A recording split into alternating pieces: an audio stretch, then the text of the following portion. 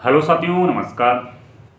साथियों, आज के इस वीडियो में देखेंगे जो राजस्थान रोडवेज़ कंडक्टर, यानी परिचालक की जो वैकेंसी आई है, उसमें एक डॉक्यूमेंट्स है अनिवार्य, वो है परिचालक सर्टिफिकेट, यानी परिचालक का जो लाइसेंस है, वो लाइसेंस किस प्रकार से बनवाना है आपको, ये कहाँ पे बनता है और कितने दिन का इसमें टाइम लगता है। तो सबसे पहले तो आपके पास में कुछ डॉक्यूमेंट्स होने चाहिए, वो डॉक्यूमेंट्स लेके आपको कहाँ पे जाना आपका तहसील मुख्यालय पे यदि रेड क्रॉस सोसाइटी है तो वहाँ पे जाना और अगर आपके डिस्ट्रिक्ट मुख्यालय पे रेड क्रॉस सोसाइटी है तो आपको डिस्ट्रिक्ट मुख्यालय पे जाना है। आपको कुछ डॉक्यूमेंट्स लेके जाना है। पहला, आधार कार्ड, दसवीं की मार्कशीट जाति प्रमाण पत्र चरित्र प्रमाण पत्र और पासपोर्ट साइज़ फ़ोटो ये डॉक्यूमेंट्स आपको लेके कहाँ पे जाना आपकी रेड क्रॉस सोसाइटी ये जिला मुख्यालय पे होती है, जहाँ पे यानी कि रेड क्रॉस सोसाइटी या तो तहसील मुख्यालय पे मिल जाएगी आपको, या जिला मुख्यालय पे मिल जाएगी। आप सर्च कर ले या किसी से पूछ ले आपको, इसका मालूम चल जाएगा। वहाँ पे जाने के बाद में आपको ये सारे डॉक्यूमेंट्स लेके आपको अप्लाई करना होगा। रेड क्रॉस सोसाइटी में आप अप्लाई करोगे तो वहाँ पे आपकी सेवन डेज़ की ट्रेनिंग होगी। पाँच से सात दिन की इसकी ट्रेनिंग होती है। वहाँ पे रेगुलर आपको क्लासें दी जाती है इसके बारे में। पाँच से सात दिन आपकी रेगुलर ट्रेनिंग होने के बाद में फिर, देखो आपको ये सर्टिफिकेट है, वो लगभग लगभग एक मंथ के बाद में मिलेगा आपको। तो वैसे भी अभी आपके पास में डेढ़ महीने का टाइम है, जो परिचालक की वैकेंसी आई उसमें डेढ़ महीने का टाइम है। लेकिन यहाँ पे फ़ीस की अगर बात हो जाए तो 1100 से 1500 रुपए के आसपास में आपकी इसमें फ़ीस लगने वाली है। 1100 से 1500 रुपए के आसपास में आपकी इसमें फ़ीस लगने वाली है और लगभग सात दिन का ये कोर्स होने वाला है। टोटल सात दिन का कोर्स होगा और आपको महीने भर, यानी कि टाइम लग सकता है बीस दिन, पच्चीस दिन, महीने भर जो आपका सर्टिफिकेट आने का टाइम है, वो इतने टाइम बाद में आपका आ जाएगा। इसके बाद में आपको फिर कुछ और डॉक्यूमेंट्स है, वो बनवाने हैं।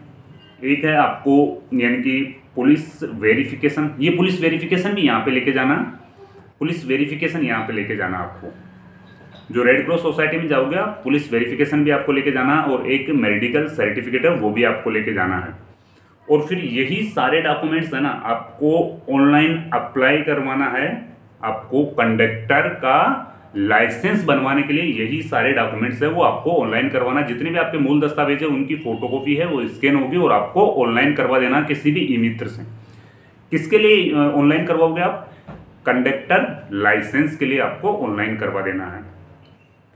फिर वो जो आपको प्रिंट देगा, जैसे अपन फॉर्म भरते हैं अपने को फॉर्म का प्रिंट आउट देता है, वो प्रिंट देगा, उस प्रिंट को आपको आरटीओ ऑफ़िस लेके जाना है और आप वहाँ पे लगभग लगभग आपके छः सौ रुपये जमा होंगे फ़ीस के। आरटीओ ऑफ़िस आप उसे लेके जाओगे छः सौ रुपये आपके फ़ीस के जमा होंगे।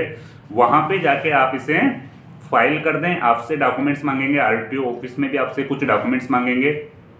आधार कार्ड, दसवीं की मार्कशीट जाति प्रमाण पत्र, चरित्र प्रमाण पत्र passport size photo police verification और मेडिकल सर्टिफिकेट।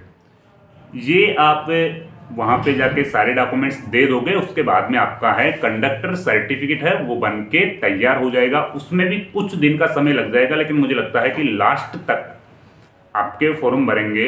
यानी कि अब से डेढ़ महीने का टोटल टाइम है तो तब तक आपका अगर अभी आप शुरू करोगे एक दो दिन में ये प्रक्रिया तो तब तक आपका सारा, यानी कि जो लाइसेंस है कंडक्टर लाइसेंस है वो बन के तैयार हो जाएगा। और इसमें क्या ड्राइविंग लाइसेंस भी चाहिएगा तो फ़िलहाल तो इसमें ऐसा कोई नोटिफिकेशन में दिया नहीं है। भाई कंडक्टर के लिए भी ड्राइविंग लाइसेंस अनिवार्य है। हालाँकि आप लाइट ड्राइविंग लाइसेंस ज़रूर बनवा लें। लाइट ड्राइविंग लाइसेंस शायद इसमें ज़रूर मांगेंगे, क्योंकि इमरजेंसी के टाइम पे कंडक्टर को भी बस ड्राइव करनी पड़ सकती है। तो इसलिए लाइट ड्राइविंग लाइसेंस भी आप बनवा लें और कंडक्टर लाइसेंस भी आप बनवा लें।